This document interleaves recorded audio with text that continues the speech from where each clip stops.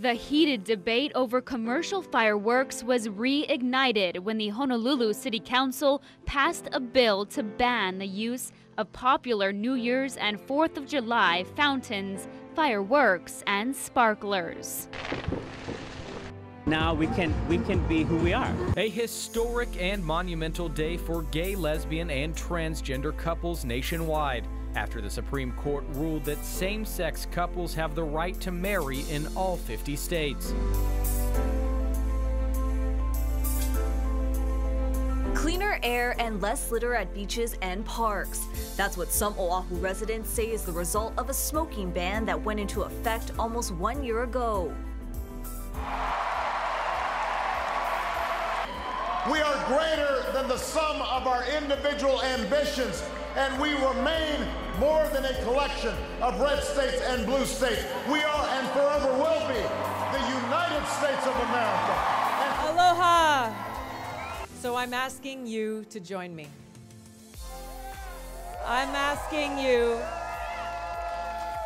I'm asking you to stand with me to build a movement.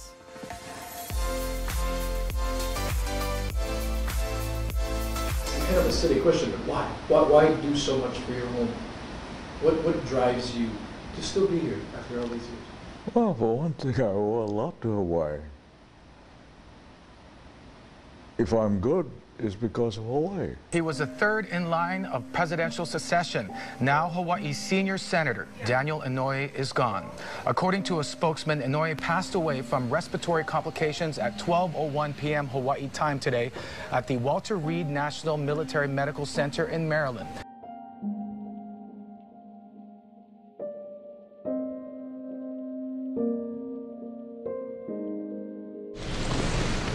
Was in every sense the quintessential American. He possessed, in my view, every virtue that we like to ascribe to our country. Representative Mark Takai lost his battle with pancreatic cancer today. He died at his home this morning, surrounded by family. He was always on the go and used to say sleep was overrated. He worked hard and he truly loved representing the people of Hawaii. It has been an honor, and this is why I, I can't thank the people of Hawaii enough. Very, very sad news. Former U.S. Senator Daniel Akaka has died at the age of 93. Senator Akaka's son Alan confirming that his father passed away at about 5 o'clock this morning, and reaction has been coming across the state and across the country. Senator Akaka represented everything that is and could be good in all of us. The word Akaka. It is synonymous with aloha. He was all about aloha, bipartisan. Everybody loved him, whether you were a Republican, whether you sat across the table with him and disagreed with what he had to say. He had tremendous respect from his colleagues.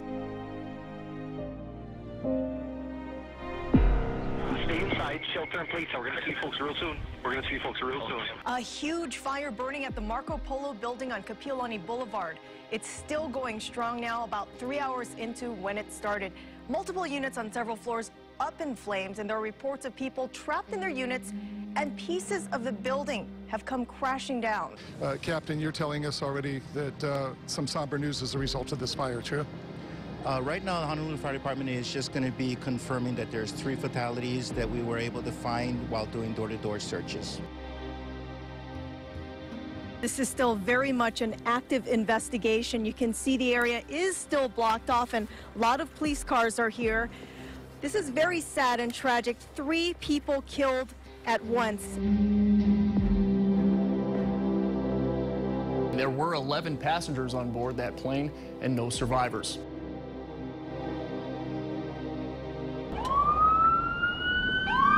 We got these first reports in at about 2.30 of an active shooter in the area near the main gate. Right now we're at the Makalapa Gate to the west of Pearl Harbor. There was a deadly shooting this afternoon on Joint Base Pearl Harbor-Hickam.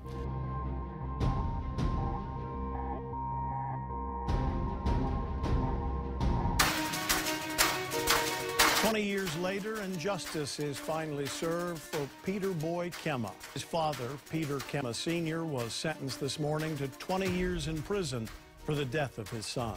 Big Island authorities reopened the cold case in November of 2014.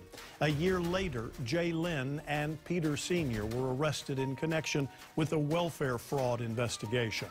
In April of 2016, prosecutors took Peter Boy's case to a grand jury, and that's when his parents were finally charged with his murder. In December, during an emotional court hearing, Jay Lynn Kema pled guilty to manslaughter and agreed to testify against her husband. The most troubling aspect of this case is the way these powerful defendants allegedly manipulated the justice system for their own purposes. Fraud and deception by a husband and wife desperate to maintain status as Honolulu's power couple. Strong accusations from the federal government against Louis and Catherine Kealoha, who were arrested by the FBI this morning.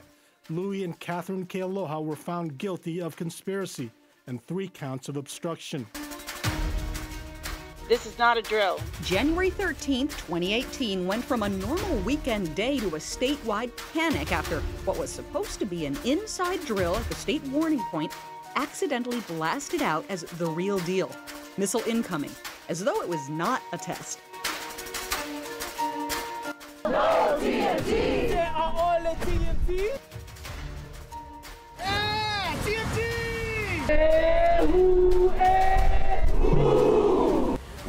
Are re-solidifying, rebuilding our foundation that we stand on. Astronomy on Mauna Kea is Hawaii's, and we'd like to keep that sustainable industry here. It's a chicken skin moment for me. It's a small step. And Yes, the train didn't go all that fast, but the train is on the track and it's moving.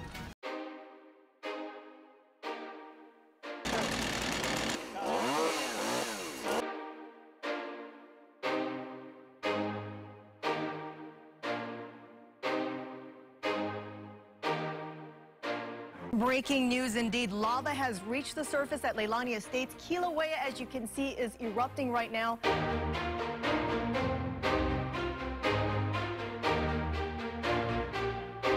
Champ, baby! We produce champs out here, you feel me?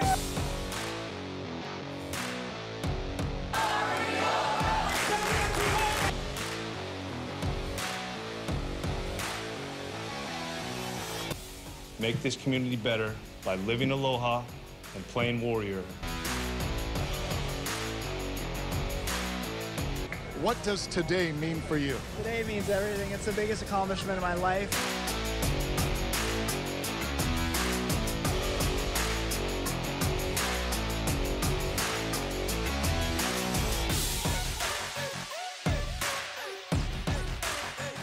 It's a big day for Bruno Mars fans. The first of his three sold out shows is tonight. The excitement is thick here at Aloha Stadium. 24 karat magic. It's all about the gold. Bruno! We're gonna go to Bruno Mars! Yay!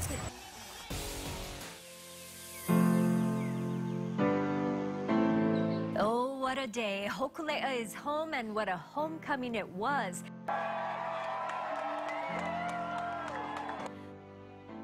The life jacket for this earth is the oceans.